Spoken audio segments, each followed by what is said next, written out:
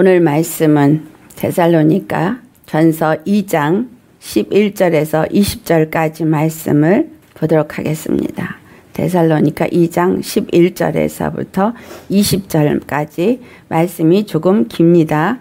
말씀을 하나하나 마음에 새기면서 봉독하시기를 바랍니다.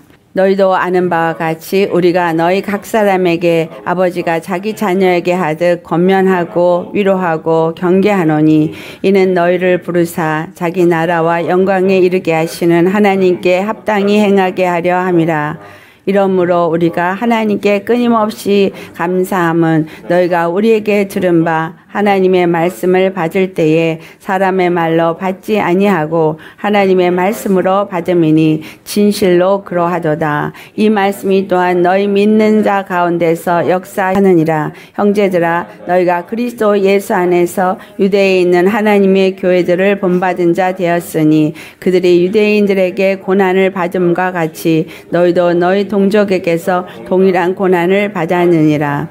유대인은 주 예수와 선지자들을 죽이고 우리를 쫓아내고 하나님을 기쁘시게 하지 아니하고 모든 사람에게 대적이 되어 우리가 이방인에게 말하여 구원받게 함을 그들이 금하여 자기 죄를 항상 채움에 노하심이 끝까지 그들에게 임하였느니라. 형제들아 우리가 잠시 너희를 떠난 것은 얼굴이요 마음은 아니니 너희 얼굴 보기를 열정으로 더욱 힘썼노라. 그러므로 나 바울은 한 번 두 번 너에게 가고자 했으나 사탄이 우리를 막았도다. 우리의 소망이나 기쁨이나 자랑의 면류관이 무엇이냐? 그가 강림하실 때에 우리 주 예수 앞에 너희가 아니냐? 너희는 우리의 영광이요 기쁨이니라. 아멘.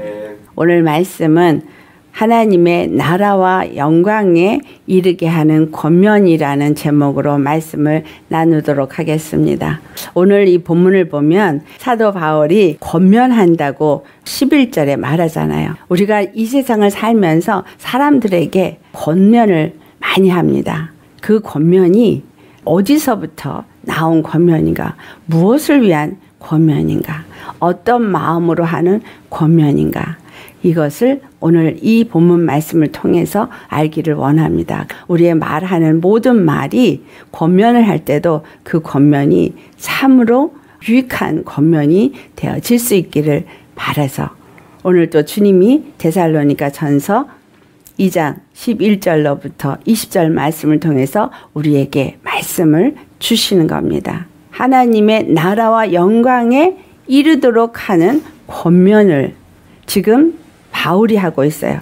12절 말씀이죠. 너희를 부르사 자기 나라와 영광에 이르게 하시는 하나님께 합당히 행하게 하려 함이라. 그러니 지금 사도 바울의 권면은 하나님의 나라와 영광에 이르게 하기에 합당하도록 지금 권면을 한다라는 말을 하고 있어요. 근데 첫 번째 너희를 부르사 그랬거든요. 이 말씀을 가지고 우리가 살펴보겠어요. 우리의 부르심. 자, 하나님은 우리 모두를 부르셨어요. 그 부르심을 잘못 생각해서 주의 종들만 하나님의 부르심을 받았다라고 생각을 하는데 우리 모두가 다 하나님 앞에 부르심을 받은 자입니다. 이 부르심을 받았을 때 그 부르심은 곧 지금 사도 바울을 보면 하나님의 나라와 영광에 이르게 하기에 합당하도록 부르셨다는 거예요. 그래서 첫 번째 우리가 하나님의 부르심은 무엇을 위해서 부르심인가를 살펴보고 그 다음에 어떻게 해야 우리가 합당하게 하나님의 나라와 영광에 이르게 되어지는 그러한 자가 되어질 수 있겠는가. 첫 번째 하나님은 우리를 왜 부르셨을까라는 말씀. 여러분 잘 아시는 말씀이 마태복음 9장 12절에서 13절에 있습니다. 찾아서 봉독하시겠어요. 도대체 예수님은 이 땅에 왜 오셨느냐. 우리를 부르신 하나님이 그 부르심이 우리 안에서 온전히 이루어지게 하기 위해서 오신 분이 예수님이세요. 마태복음 9장 12절에서 13절 말씀 같이 봉독하시겠습니다. 예수께서 들으시고 이르시되 건강한 자에게는 의사가 쓸데없고 병든 자에게라야 쓸데 있느니라. 너희는 가서 내가 궁의를 원하고 제사를 원하지 아니하노라 하신 뜻이 무엇인지 배우라. 나는 의인을 부르러 온 것이 아니요 죄인을 부르러 왔노라 하시니라. 아멘. 이 유대인들에게 하시는 말씀이에요. 유대인들은 뭐를 열심히 하고 있어요? 제사를 열심히 하는 거예요. 왜? 예루살렘에 가서 제사를 열심히 드려야 하나님을 만날 수 있다고. 우리도 오늘 예배 드리죠. 하나님을 만날 수 있기를 원해서 예배를 드립니다. 많은 그리스도인들이 교회 나가서 열심히 예배를 드리면 하나님을 만날 수 있다고 생각해요. 예수님께서 하신 말씀이 곧 우리에게 지금 하시는 말씀인데 제사를 원하시는 것이 아니에요. 주님은 국류를 원하신다 그랬어요. 그래서 주님이 바로 이 땅에 오신 이유, 부르러 오신 거예요. 뭐 하러 오신 거예요? 부르러. 근데 누구를 부르러 왔느냐? 바로 죄인을 부르러 오셨다라고 말하고 있어요. 그러니까 내가 예수님을 만나고 싶은 사람은 어디로 가야 돼요? 죄인의 자리로 가야 돼요. 이 말은 도대체 무슨 말인가? 그러면 예수님을 만나기 위해서 죄를 지으란 말인가? 아니에요. 왜 이 말을 하셨는가? 그 이유는 하나님은 거룩한 분이시고 우리는 죄인이기 때문인 거예요. 하나님은 거룩한 분이고 우리는 죄인이라는 이 말은 바로 이 죄인들은 어떻게 되어져? 죄의 값인 사망에 처하게 돼 있어요. 죽게 되어졌어요. 하나님의 영원한 심판에 놓이게 되었어요. 거기서 건져주시기 위해서 오신 분이시다. 그 말이에요. 사망에서 건져주기 위해서 우리를 부르러 오셨어요. 우리는 전부 어디에 살고 있어요? 사망 권세 아래 살고 있어요. 어두운 가운데 살고 있어요. 그래서 이 어두움 가운데 빛으로 오셔서 자 빛으로 나와라 라고 부르신 거예요. 사망 권세 아래서 두려워 떨고 종살이를 하고 있는 자들 율법을 지키기 위해서 애쓰고 힘쓰면서 매일매일 두려워 떨고 있는 그들을 자 이제 그 두려움에서부터 내가 너희를 건지기 와서 왔으니까 이제 나에게 와라. 하나님의 부르심은 우리를 뭐 하기 위해서 부르시는 거예요?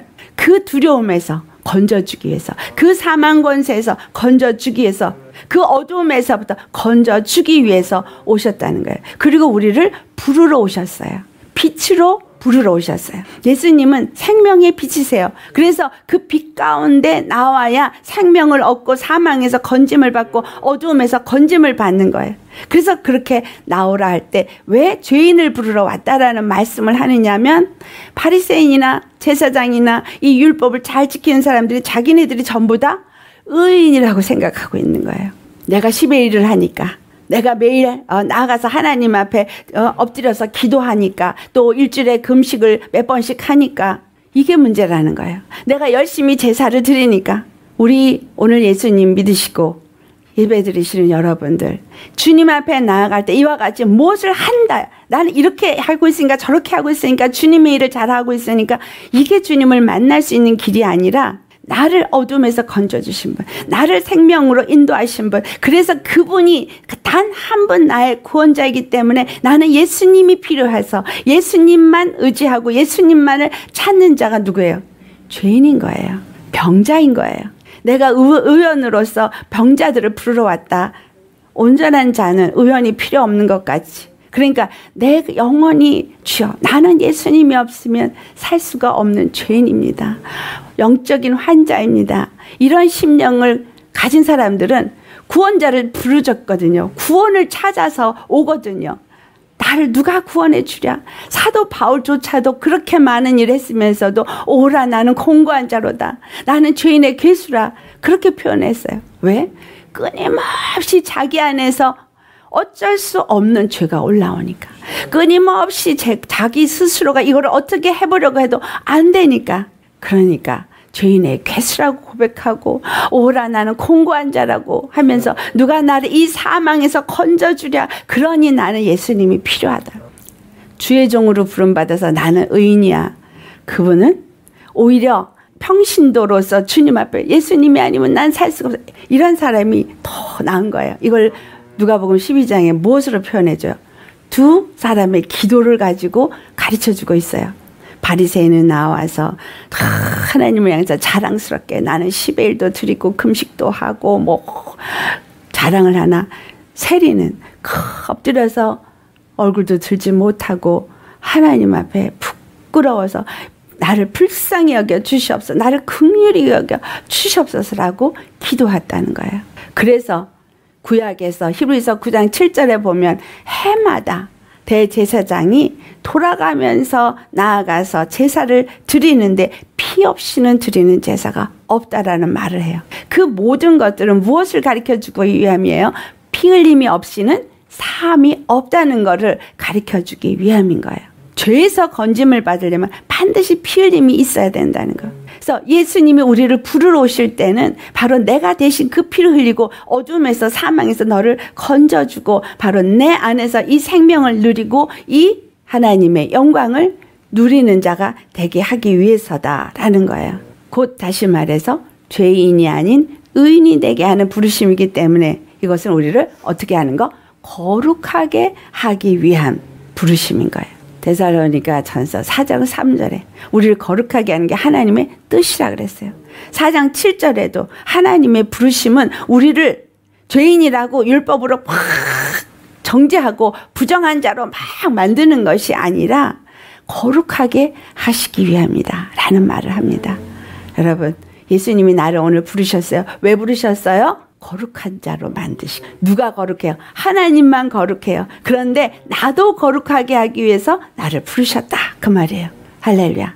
자, 이렇게 거룩하게 한 자가 되어졌으면 그 흑암의 권세에서부터 우리를 건져내서 골로새 1장 13절에 14절 말씀처럼 사랑하는 아들의 나라로 옮기셨다라고 말합니다. 하나님의 사랑의 나라로 우리를 옮기신 것은 바로 죄 사함을 받은 것을 하나님의 사랑의 아들의 나라로 옮기셨다라고 말하는 거예요. 그 여러분 어디 살고 계시는 거예요? 내가 죄 사함을 받았으면 하나님의 사랑의 아들의 나라에 살고 있는 거예요.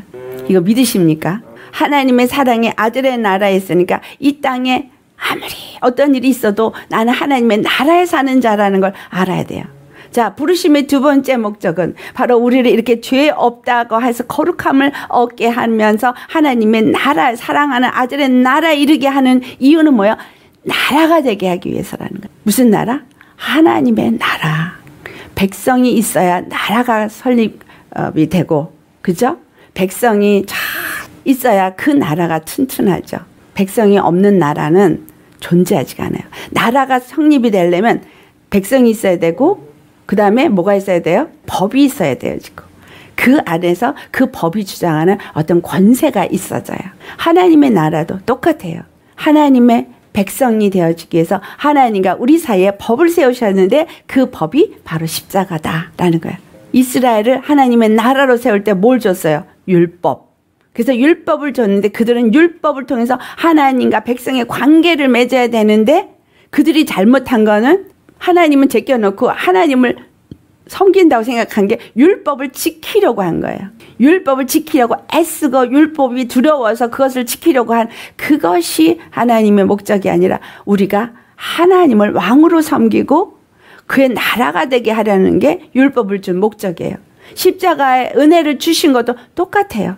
우리가 그의 나라가 되게 하기 위해서. 그러니 예수님을 하나님이 머리가 되겠다 했죠. 교회의 머리. 다른 말로 그걸 교회라고 표현하고 몸으로도 표현하고 나라로도 표현하는 거예요. 누가 나를 주장해야 돼요? 예수님이 나의 머리가 되어 주셔서 나를 주장하게끔 그분 앞에 온전히 내어드린 자가 되어지도록 나를 부르신 거예요. 왜 부르시는지 확실하게 아신다면 그걸 위해서 살아야 되겠죠. 하나님의 나라가 되기 위해서 불렀으니 나는 하나님의 나라가 되어지고 하나님의 백성이 되어져서 하나님이 나를 통치하고 나를 다스리게끔 그분께 모든 걸 맡기는 자가 되어져야 되는 거예요. 이것을 로마서에서는 사도 바울이 사장에 그거를 아브라함을 통해서 말해주고 있어요. 아브라함이 약속을 갖거든요. 근데 그 약속을 가질 때 아브라함에게 약속을 했지만 아브라함은 그 약속이 이루어지는 것을 보지 못했어요. 근데 무엇으로 그가 보았어요? 내가 내게서부터 아들을 낳을 텐데 그 아들과 함께 그 언약을 세울 거다. 그러니 그 아들을 보면 그 약속이 이루어지는 것을 알게 되어지는 거예요. 그런데 소식이 없어. 전혀 소식이 없어. 오늘 우리가 볼 때 전혀 소식이 없죠. 도대체 주님이 약속하신 일이 이루어지는 것 같지가 않아요. 그런데 그 아브라함은 그 약속을 가진 자로서 흔들림이 없이 끝까지 믿음을 잃지 않았어요. 나라를 세우셨어요. 어떻게? 드디어 낳을 수 없는 중에 이삭을 낳았거든요.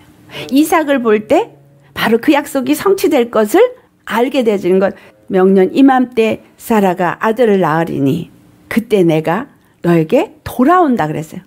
그러니 사라가 아들을 낳을 때 하나님이 돌아오시는 거구나라는 거를 말하고 있는데 그게 언제예요? 갈라디 3장 16절을 보니 그 이삭은 예수 그리스도를 말하는 것이라 라는 걸 기록하고 있죠. 예수님이 오신 그 마지막 때가 바로 하나님이 돌아오신 거구나. 어디로 돌아오신 거예요? 우리에게. 우리를 부르시러, 우리를 나라로 세우시고 왕으로 자정하시기 위해서 하나님의 나라를 세우기 위해서 돌아오신 거예요. 그 약속의 성취가 이루어진 거예요. 그 약속의 성취가 십자가에서 이루어졌어요. 그리고 부활하셔서 하늘에 올라서 머리가 되어주셨어요. 권세 위에 권세가 되어지고 이 세상 모든 만물 위에 뛰어난 권세자가 되어주시고 왕이 되어지셨어요. 그래서 그 예수 그리스도가 이제 우리를 부르십 뭐로? 백성으로 나라로 주님이 그렇게 아브라함을 부르시고 또 이삭에게 또 야곱에게 그렇게 부르시면서 그들을 결국은 애굽에서 이끌어내서 가나안 땅에 나라를 세운 것과 같이 우리를 그렇게 부르고 계시다는 거예요. 우리의 죄성들을 하나하나 쫓아내시고 정결케 하시고 하나님의 나라 거룩한 백성이 되게끔 우리 안에서 그 일을 하고 계신 거예요. 한 사람 한 사람이 눈에 보이지 않아요. 세상은 몰라요. 이루어지는 것 같지 않아요. 그런데 주님은 하나하나를 그렇게 변화시키고 일하고 계시다는 거예요. 나라를 지금 세우고 계시는 거예요. 부르시고 계시는 거예요. 주님의 음성을 우리 모두가 듣고 그 말씀을 받을 때에 그게 부르심인 거예요. 무엇으로? 말씀으로. 이스라엘 백성들이 거룩한 공예로 모일 때 나팔을 불어요. 이 나팔 소리를 듣고 거룩한 공예로 다 모여와서 하나님 앞에 모여듭니다. 여러분은 어떻게 하나님 앞에 모여들었어요? 주일이 됐으니까 하나님 앞에 예배드리게 오셨습니까? 하나님이 나를 부르셨기 때문에 오신 거예요, 여기. 불러서 말씀으로 나를 거룩하게 하시고 하나님의 나라가 되어지게 하기 위해서 부르신 거예요. 그 부르심을 내가 들었기 때문에 내 마음이 여기에 온 거예요. 근데 불러도 귀가 막히면 나팔 소리 들려요, 안 들려요? 안 들려요. 아무리 불러도 안 들리는 사람은 못 오는 거예요. 또 와서 예배 자리에 앉아 있다 할지라도 하나님의 말씀이 귀로 들리지를 않아. 세상 생각이 많고 또 더러운 영이 이렇게 다 덮어버리면 눈이 감겨버려서 무슨 말을 했는지 듣지를 못하게 해서 귀로 듣고 이쪽으로 나가버리는 거예요. 이제 나라로 부르실 때 어떻게 부르셨다고 말해요. 에베소 5장 26절과 27절에는 하나님이 우리를 부르실 때 하나님의 영광스러운 교회로 부르셨다고 표현해요. 험도 주름 잡힌 것도 이러한 것이 없는 거룩한 영광스러운 교회로 우리를 부르시고 세우기를 원하시는 거. 이게 나라를 세우는 거예요. 말씀을 주시고 예수님의 피를 뿌림을 받은 자들은 하나님의 나라를 세우기 위해서 그 다음에 의의 종으로 부르심을 받은 거예요. 첫 번째는 죄인들을 부르셨다. 아, 나를 거룩하게 하시고 사망에서 그 어둠에서 건져내시고 거룩한 하나의 백성이 되게 하려는 의도다. 두 번째는 그렇게 해서 나라가 세워지기 위해서 나를 부르셨다. 그렇다면 나라가 세워지기 위해서는 그 일을 하는 일꾼들이 있어야 될 거 아니에요. 뭐 국무총리도 있어야 되고 못 있고 못 있고 못 있고 곳곳에 다 그 일하는 사람들이 세워져야 되잖아요. 그것이 뭐예요? 성경에서 의의 종이라고 표현하고 있죠. 우리를 의의 종으로 부르셨어요. 우리 고린도전서를 찾아보시겠어요? 고린도전서 7장 22절에서부터 24절 말씀. 고린도전서 7장 22절에서 24절 말씀 같이 봉독하시겠습니다. 주 안에서 부르심을 받은 자는 종이라도 주께 속한 자유인이요. 또 그와 같이 자유인으로 있을 때에 부르심을 받은 자는 그리스도의 종이니라. 너희는 값으로 사신 것이니 사람들의 종이 되지 말라. 형제들아 너희는 각각 부르심을 받은 그대로 하나님과 함께 거하라. 아멘. 우리가 각각 어떤 상태에서 부름을 받았든 그리스도의 종으로 부름을 받은 거예요. 로마서 6장 16절에 누구에게 순정하든지 순정함을 받는 자의 종이 된다 그랬죠. 오늘 바울이 뭐라 그랬어요? 부르심을 받은 그대로 하나님과 함께 거하라 그랬어요. 늘 부르심을 받은 나는 들락날락하는 게 문제일 거예요.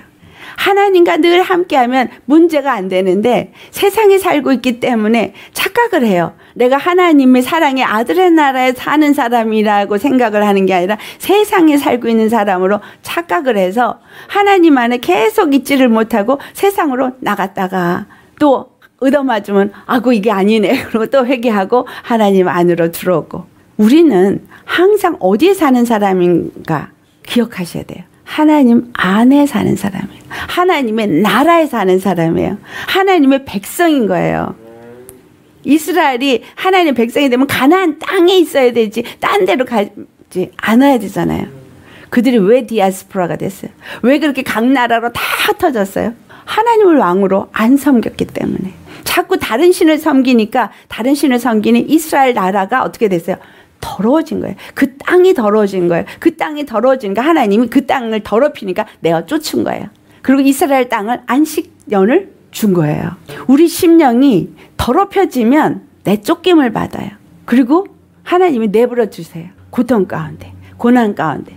언제까지? 죄인의 자리로 다시 내려가서 주여 나를 구원하여 주시옵소서. 내가 주님 앞에 범죄한나이다. 내가 더럽혀졌나이다. 정말 주님의 나라, 주님의 백성으로 살아야 되는데 내가 이렇게 죄의 조카에서 죄의 종이 되어졌고 사망의 권세 아래 놓였나이다. 그렇게 될 때까지 내버려 두세요. 그래서 바벨론에 끌려간 이스라엘 사람들이 돌아오게 할 때 주님이 뭐라고 말씀하시냐. 저들이 그 조상들이 한 것을 다 알고 이제 회개하고 다시는 그렇게 하지 않게 하도록 내가 그들을 다시 예루살렘으로 돌아오게 한다는 말을 약속을 하고 계세요. 그들이 뭘 잘못했는지를 알고 다시는 여호와 하나님 앞에 범죄하지 않고자 하는 그 마음으로 돌아와서 예루살렘을 충건하게끔 하신다라는 걸. 우리 주님은 우리로 하여금 하나님 안에서 부르신 그분의 뜻이 있는 거예요. 왜 부르셨다고요? 그분의 종으로서 부르셨어요. 그분의 일꾼으로. 무슨 일꾼? 나라를 세우는 일꾼, 교회를 세우는 일꾼으로 부르셨습니다. 그래서 내가 하는 말, 내가 하는 행동, 내가 하는 모든 삶은 바로 그걸 위해서 살고 있는 자가 되어야 하는 거예요. 사도 바울이 갈라디아서 5장 13절에 형제들아 너희가 자유를 위하여 부르심을 입었으나 그러나 그 자유로 육체의 기회를 삼지 말라라는 말을 해요.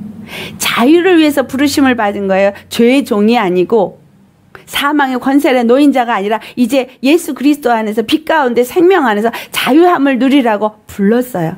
근데 이 자유를 누리는데 이 자유를 뭐로 사용해요? 육체의 기회로 삼는다는 거예요. 복음을 말하고 예수님을 말하면서 그 자유가 내 육체를 위해서 삼는 게 뭐예요? 예수님을 믿되 예수님께 기도를 하되 육체의 유익을 위해서 구하는 거. 육체의 유익을 위해서 찾고 믿고 나아가는 거. 이건 믿는 게 아닌 거예요. 그렇죠? 이 땅에서 얻을 부귀 영화를 위해서 사는 거 이거는 하나님이 주신 궁극적인 목적과 위배되는 거죠. 네 번째로 거룩하게 된 자들은 하나님의 나라만 되는 걸 원한 게 아니라 하나님의 영광에 이르게 하기 위해서 부르셨다는 걸 알아야 돼요. 사도 바울이 지금 권면하는 게 하나님의 나라와 그 영광에 이르기에 합당한 자가 되게 하기 위해서 권면한다 그랬잖아요. 그러니까 내가 하나님의 나라가 되어지면 하나님의 영광이 나타나야 되는 거예요. 이 세상을 살면서 성경을 볼 때 하나님의 영광을 나타낸 자들이 어떠한 삶을 살았는지를 보셔요. 똑같이 아브라함의 두 아들이 있었고 이삭에게도 두 아들이 있었고 야곱에게도 열두 아들이 있었어요. 근데 그 중에 하나님의 영광을 나타낸 아들과 그렇지 않은 아들이 있다라는 거예요. 정말 나는 하나님의 나라요. 예수님의 아들이 되어졌는데 그 피로 거룩함을 입었는데 그 은혜를 아는 자가 되어졌는데 근데 나는 바로 그분의 영광을 나타내는 자가 되어지느냐. 그 영광을 하나님은 어떨 때 받으신다 그랬어요? 그 이름이 나타나실 때. 그 이름이 나타났을 때. 로마서 3장 23절에 사람들이 죄인이 되었기 때문에 하나님의 영광에 이르지 못한다 그랬어요. 그 영광에 이르도록 하기 위해서 예수님이 이 땅에 오셔서 십자가를 지시고 죽으시고 부활하셔서 이제 그 영광을 나타내셨어요. 생명의 영광. 그러니까 이제 다 죄인이 돼서 영광에 이르지 못하던 자들이 예수님이 다다 대신 죽으셨고 그리고 부활하셨으니까 그 영광을 다시 회복한 거죠. 그래서 너희는 내게 와라 이거예요. 부르신 거예요. 무엇을 그 영광을 다시 얻으라고 부르신 거예요. 이제 분명히 내가 하나님 앞에 부름받은 이유를 아셔야 합니다. 아멘. 왜 부르셨어요? 첫 번째, 나를 거룩하게 하기 위해서.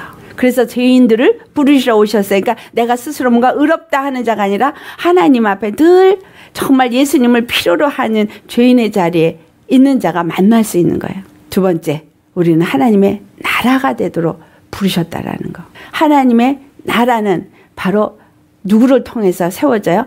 그의 종된 자들을 통해서 세워져요. 그래서 그리스도의 종으로 부르셨어요. 그런 자들은 하나님의 영광을 나타내기 위해서 부르신 거예요.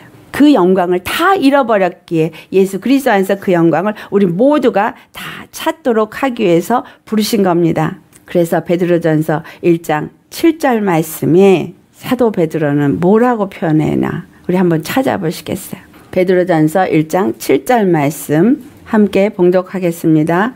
너희 믿음의 확실함은 불로 연단하여도 없어질 금보다 더 귀하여 예수 그리스도께서 나타나실 때에 칭찬과 영광과 존귀를 얻게 할 것이니라. 아멘.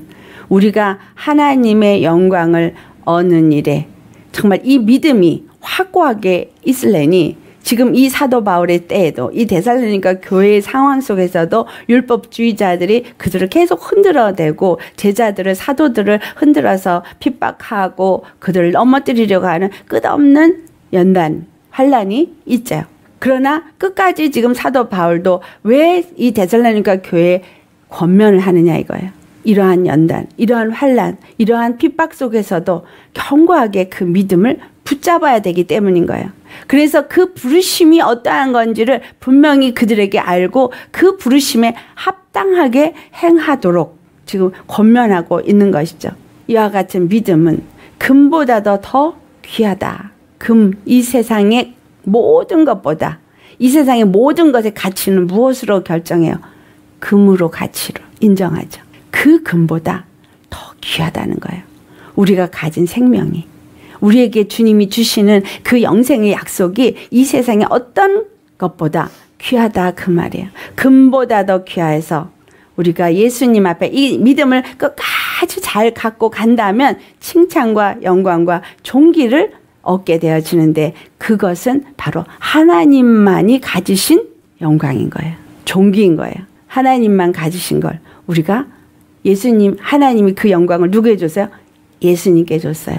그 예수님 안에 우리가 거하면서 믿음으로 나아간 자는 그것을 똑같이 상속을 받게 되어져 있어요. 그래서 그 상속자들이 주 안에서 어떤 자들이 상속자가 되어질 것인가 라는 거죠. 하나님께 우리가 두 번째로 합 합당하게 행하도록 나라와 그 영광을 얻을 수 있도록 하나님 앞에 합당하게 행하는 자가 되어야 하는데 이 데살로니카 교회가 하나님 앞에 어떻게 행하였는가를 지금 사도 바울이 오늘 본문을 통해서 말하고 있어요. 정말 나라와 영광에 이르기 위해서 합당하게 행하게 하려 함이라 그랬는데 13절 말씀을 보니 그들이 어떻게 행하였는가를 기록하고 있어요. 하나님의 말씀을 받을 때에 사람의 말로 받지 아니하고 하나님의 말씀으로 받음이니 자, 이 하나님의 말씀은 누구에 의해서 전달됐어요? 사도 바울에 의해서 전달되어졌어요. 하나님의 말씀이 사도 바울에 의해서 복음이 들려졌는데 그 말씀을 들을 때 그들이 사람의 말로 받지 않고 그 모든 것을 하나님의 말씀으로 받았다는 거예요. 여러분 지금 이렇게 설교 말씀을 듣는데 이 말씀을 사람의 말로 들으십니까? 아니면 하나님의 말씀으로 들으십니까? 하나님의 말씀으로 들으신다면 하나님은 나의 구원이시고 그 구원을 이루시고 나라를 이루시고 또 나로 하여금 그의 백성이 되어져서 그의 종으로서 하나님의 영광에 이르도록 하기 위해서 나를 부르셨구나. 나의 삶이 그것을 위해서 살아야 되는 거구나라고 받게 되겠죠. 하나님의 말씀으로 들으면 이것이 내가 사는 이유가 되어져요. 아멘. 그래서 뭐라고 말해요? 사람의 말로 받지 않고 하나님의 말씀으로 받으니까 이 말씀이 또한 너희 믿는 자 가운데서 역사하느니라. 이렇게 말씀을 하나님의 말씀으로 받으면 우리 믿는 사람 안에서 그 말씀이 역사를 한다는 거예요. 사람의 말은 원어가 포네라 그래요. 근데 하나님의 말씀은 뭐라 그래요? 로고스라 그래요. 근데 이 로고스라는 하나님의 말씀이 폰에 소리로 들리면은 그냥 지나가요. 근데 그게 레마로 들리면 레마 하나님의 음성으로 들리면 이게 내 안에 영으로 들어와서 하나님의 말씀으로 듣게 되어지고 우리 안에서 믿음으로 역사되어진다는 거예요. 그래서 하나님의 말씀을 우리가 항상 어떻게 들어야 돼요? 레마로 들어야 돼요. 그래서 설교를 듣든 어떤 예배 가든 나가든 기도를 할 때 주여 오늘도 주의 말씀이 하나님의 말씀으로 들리게 하여 주시옵소서. 레마로 들려지도록 기도하셔야 되는 거예요. 그러려면 그렇게 기도하면 내 모든 생각을 다 내려놓고 오직 심령이 다 주 안에서 정결해지고 비어진 심령이 되어져서 주님의 말씀을 그런가 해서 듣는 자가 레마로 들릴 수 있게 되어지고 그 말씀이 그들 심령 속에서 역사하게 됩니다. 그래서 사도 바울은 그게 너무너무 그의 귀에 들렸어요. 그래서 끊임없이 내가 감사한다라는 말을 지금 13절에 하는 것입니다. 두 번째로 그들은 또 14절에 어떻게 했어요? 하나님 앞에 합당하게 행한 행위가 무엇인가 하니 예수 안에서 유대에 있는 그리스도 예수 안에서 유대에 있는 하나님의 교회가 핍박을 받았어요. 그런데 그 고난을 그들이 받은 것뿐만이 아니라 지금 데살로니카 교인들도 받았다 이 말이에요. 그들도 똑같이 그것을 본받은 자가 되어져서 그 핍박을 그 고난을 받는 일에 함께 동일한 고난을 받는 자가 되었다라는 거예요.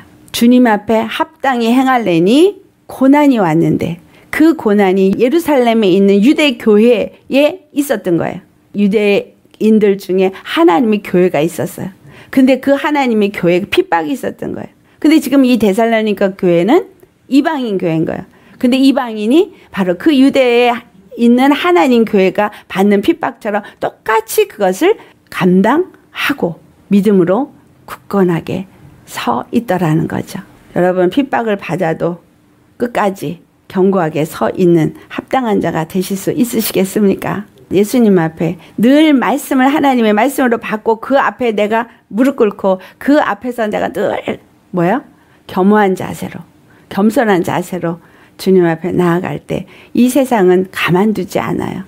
이 세상에 있는 사람들은 십자가의 길을 가지 않기 때문에 손가락질을 하고 비난하고 핍박하고 가만두지 않아요. 왜? 무너뜨려야 되니까 끌, 끌어내려야 되니까 가만두지 않습니다. 뭘 해서가 아니에요. 그냥 가만 있어도 그냥 못 살게 굴어요.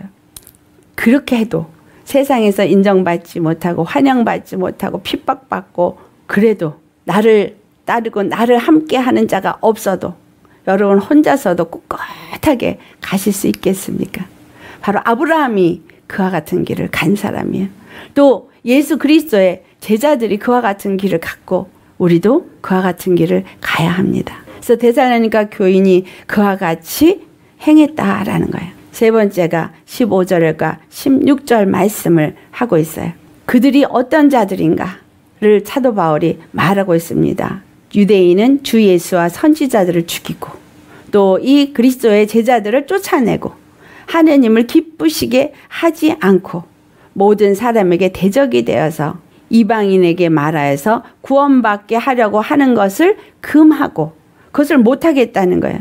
그리고 자기 죄를 항상 채워서 그들에게 노하심이 끝까지 임하도록 하는 일을 하고 있다라는 말을 하고 있어요. 이 말을 지금 왜 하고 있는 거예요? 영들을 분별해서 하나님 앞에 합당히 행하는 자가 되라라는 말이에요.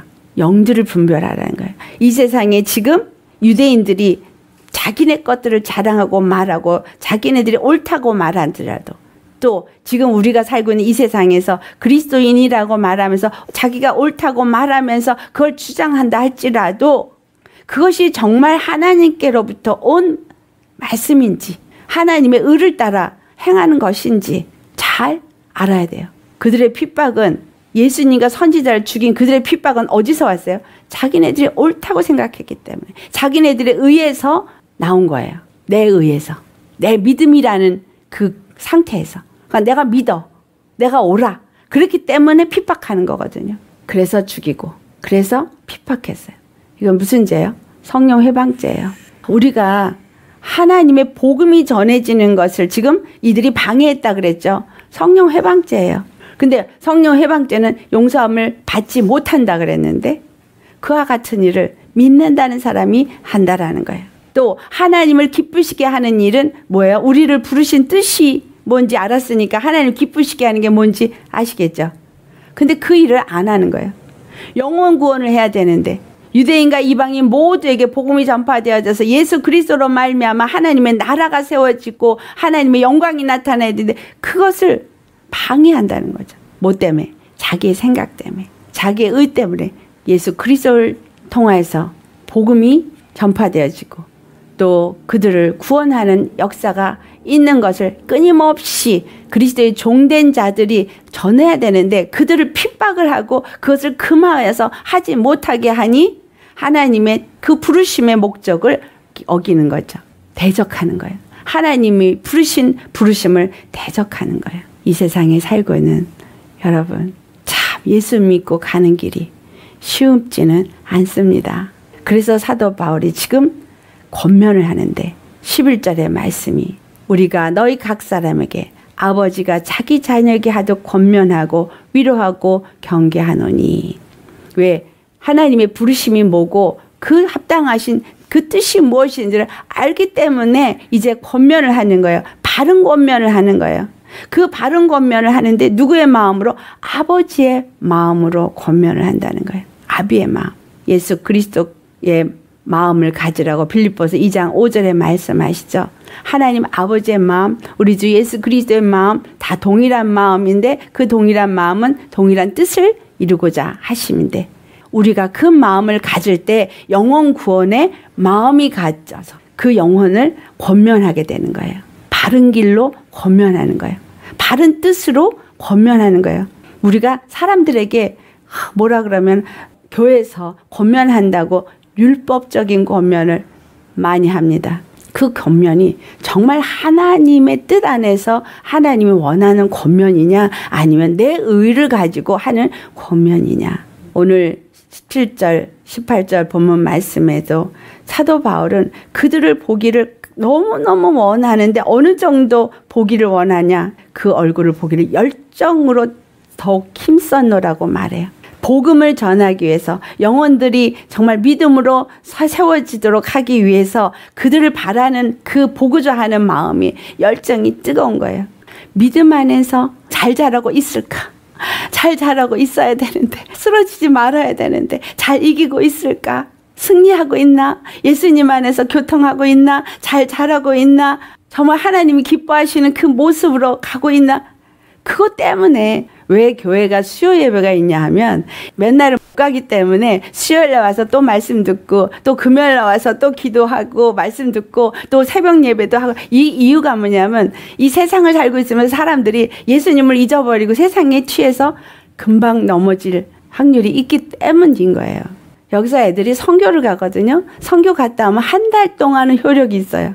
왜? 가보니까, 야, 내가 사는 이 미국의 삶이 너무나 감사하구나. 한국 사람들도 마찬가지겠죠. 너무나 감사하다. 야, 정말 주님이 우리에게 준 축복이 이렇게 크구나. 그러다가 한 달 지나면 다 잊어버려서 도루 똑같아져요. 그만큼 잊어버리는 은사들이 충만하시거든요. 그러니까 지금 사도 바울은 아비의 마음과 같이 그 데살로가 교인이 정말 합당하게 행하여서 믿음으로 잘 자라서 하나님의 나라와 영광으로 나타낼 수 있는 합당한 교회로 세워져야 되고 잘 가야 되겠는데 하는 마음이 간절한데 그게 뜨거운 거예요. 그래서 열정이라는 단어를 표현한 거죠. 그렇게 간절해요. 그래서 기도를 하게 되거든요. 그러면 이게 느껴져 와요. 성령께서 지금 그 사람의 영적 상태가 어떤지 느껴지게 돼요. 그러니까 쭉 그리고 또 기도하게 돼요. 제 역할은 바로 복음을 전하고 먹이는 아비와 같은 어미와 같은 자의 자리에 있기 때문에 사도 바울의 마음이 이해가 됩니다. 우리가 형제를 권면하는 자라면 이 아비의 마음과 어미의 마음처럼 그 자식을 양육하는 것처럼 젖을 먹인 듯이 좋은 양질의 젖을 먹이고 싶어서 엄마가 좋은 걸 막 먹잖아요.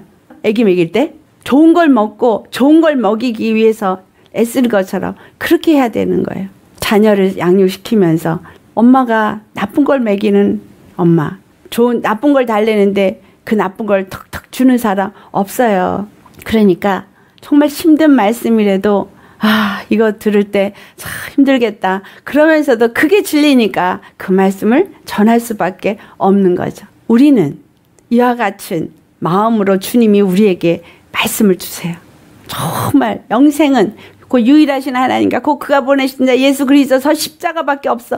그래가지고 이거를 막 전하는데 나는 그 권면을 받을 때 그렇지만 사는 게 그게 또 아니지. 뭐 어떻게 그렇게만 살아.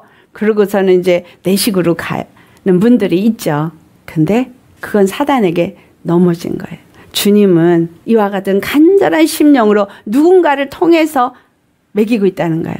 사도 바울을 통해서 데살로니카에 먹이고 사도 바울을 통해서 에베소에 먹이고 빌립보 교회에 먹이고 그것처럼 오늘날 주의 종으로 세움 받은 사람에게 말씀을 주시고 그걸로 말씀을 먹여서 그들로 하여금 그 부르심에 합당하게 행하게 하기 원하신다라는 거예요. 부르심에 합당하게 되어지도록 우리는 하나님의 영의 사람이 되어야 합니다.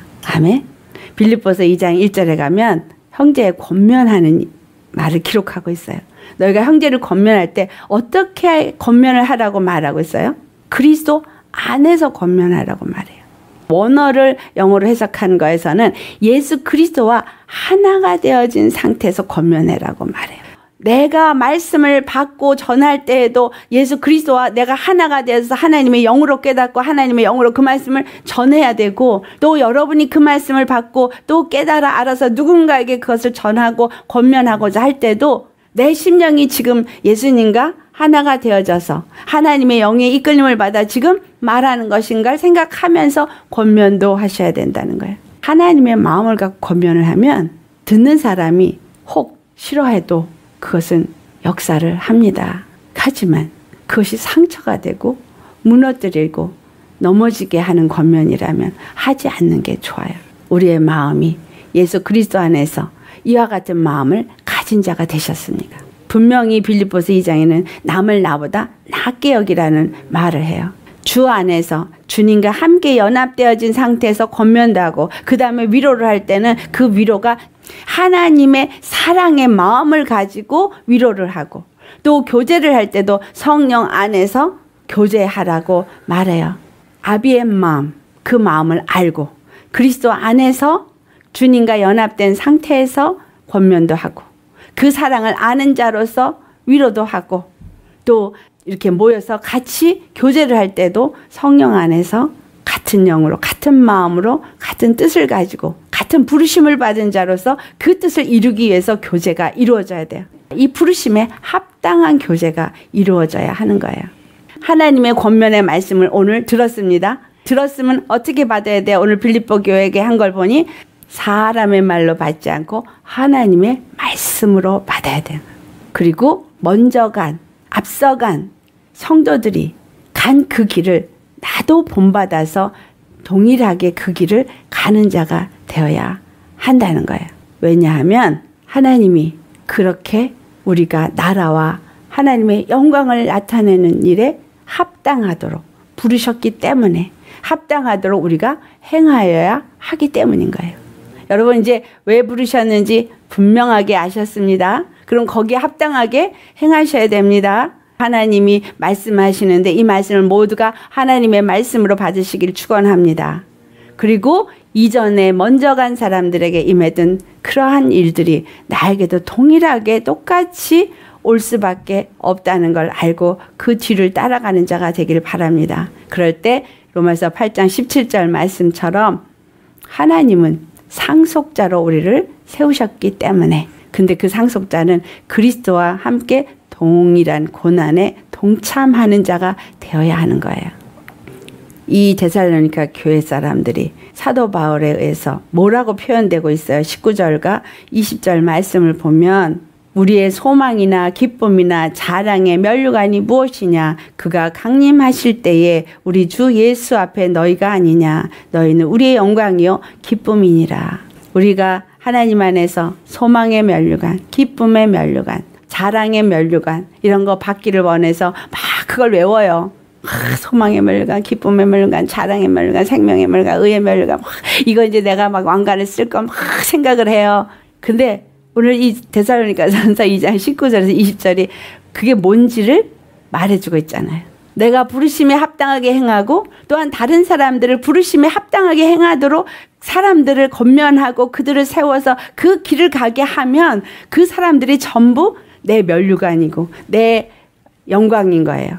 하나님 앞에 가서 받게 될 칭찬인 거예요. 그러니까 아비의 마음으로 간절한 심령으로 그들을 위해서 기도하고 섬기는 이유인 겁니다. 여러분이 잘 자라면 여러분이 정말 하나님의 부르심에 합당한 자로 싹 세워지면 여러분은 저의 소망이요, 기쁨이요, 영광의 멸류관이 되어서 여러분이 반짝반짝 반짝 보석과 같이 빛날 때 그 반짝반짝 빛나는 그 보석이 천국의 내 집에 다 박혀져 있어서 제가 다 받아요.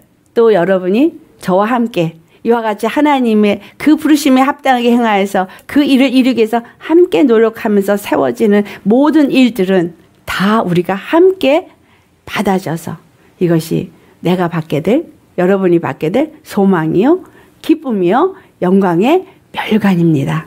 부르심에 합당하게 사시라고요. 왜 부르셨다고요? 우리를 거룩하게 하시고 거룩한 백성이 되게 하시고 거룩한 나라를 세우시고 그분의 영광을 나타내기 위해서 종으로 부르셨다는 거. 그래서 나는 그분의 영광을 위해서 그 나라를 세우기 위해서 주 앞에 드려지는 자. 그래서 늘 모든 것이 거기에 초점을 맞춰서 주님 앞에 나아간다면 비록 환란이 올지라도 주님은 나를 떠나지 아니하시고 나와 함께 하시고 내가 기도하는 것마다 모든 것을 다 필요한 걸 채워 주세요. 나의 삶의 목적이 분명해야 돼요. 사는 목적이 분명하고 또 모든 호흡에 배움에 모든 먹는 자는 거 이 모든 일이 다 분명한 어떤 것을 위해서 하나님의 부르심에 합당한 자로 나라와 영광을 받기에 합당한 자로 행하고자 한다면 하나님은 그 기도에 하나도 땅에 떨어지지 않냐고 다 이루게 하십니다. 뭐라 그러셨어요? 너희가 내 안에 거고 내 말이 너희 안에 거하며 무엇이든지 원하는 대로 그하라. 그리하면 내가 이루리라. 왜? 너희가 열매를 많이 맺으면 하나님 아버지께서 영광을 받으시고 할렐루야.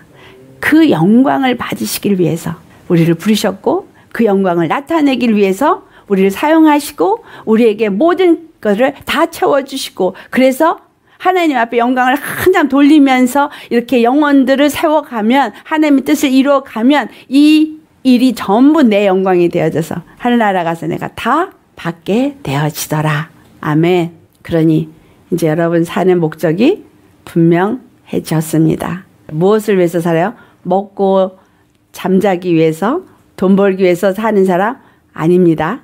우리는 부르심에 합당한 자로 행하여서 사도 바울이 이 데살로니가 교회 사람들에게 권면한 것뿐만이 아니라 오늘 하나님이 우리에게 이 말씀을 통해서 권면하시고 또 부족한 제가 여러분에게 권면했어요. 어떻게 살아야 할지 여러분도 또 요대로 깨닫고 또 다른 사람에게 이와 같이 권면해서 우리 모두가 하나님의 나라로 잘 세워지기를 축원합니다. 아멘.